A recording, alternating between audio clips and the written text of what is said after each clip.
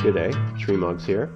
I wanted to take a look at the sheet bend and this is an excellent way of temporarily tying two ropes together. The sheet bend is not recommended for life support such as lengthening a climbing rope for instance. It is also not recommended for very heavy rigging. The Zeppelin bend is a better choice in those cases. However, the sheet bend is still a very popular choice for tying two ropes together, so I wanted to explore it a bit. So if you look closely, you will recognize this general shape here. So the sheet bend is just a bowline that's tied using two separate ropes. So the one rope forms the rabbit hole, the other rope forms the rabbit up through the hole behind the tree and back down. So I want to explore a couple different scenarios where we use the sheet bend as well as a couple different ways of tying it and then also the uh, quick release version which is known as the slippery sheet bend. So in the first scenario we have a rope hanging down from the tree and we have a rope that we want to tie onto it and both of these ropes are equal diameter. So this is the easier version to tie because this is the one that we know already as the bowline. So if you like to tie the bowline this way, you can tie it like this.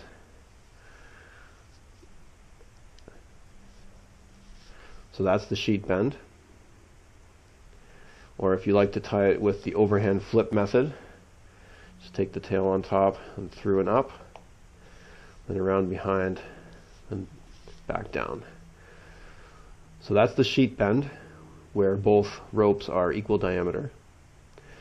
Now, if we wanted to tie the quick release version, known as the slippery sheet bend, instead of tucking the tail down through, what we're going to tuck instead is just a bite of the tail down through.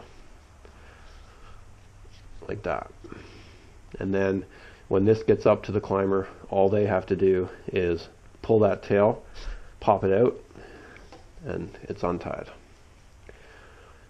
So that's the first scenario where both ropes are equal diameter. Now we're going to look at another common scenario where you have a rigging line hanging down to the ground and you want to tie on a smaller diameter rope onto it. So this is a 5 8 rope. I want to tie a half inch rope onto it. So this is a different form even though it results in the same knot. So to tie this, we're going to take a bite of the larger diameter rope. The smaller diameter rope, the tail is going to come in through the back. Going to go around behind and then it's going to tuck through and under like that. Then you're going to dress and set it. So that also is a sheet bend. Even though it looks different from the first form, it's really just upside down and backwards. It is the exact same knot. So as I say, this is the recommended uh, way of tying it when uh, one rope is thicker than the other. You would tie it like this. It's supposed to be stronger. And this is also the way that's normally shown in books, this form of the sheet bend. So again, to tie it this way, we're going to take the thicker rope, going to form a bite upside down like this. The tail of the smaller line is going to come in from behind.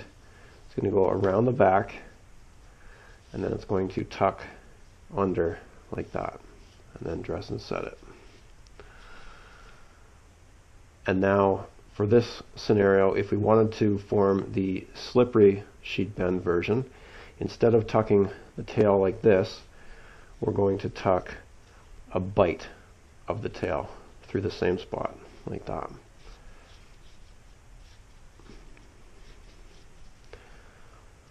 So that is a couple different ways of tying the sheet bend in two different scenarios.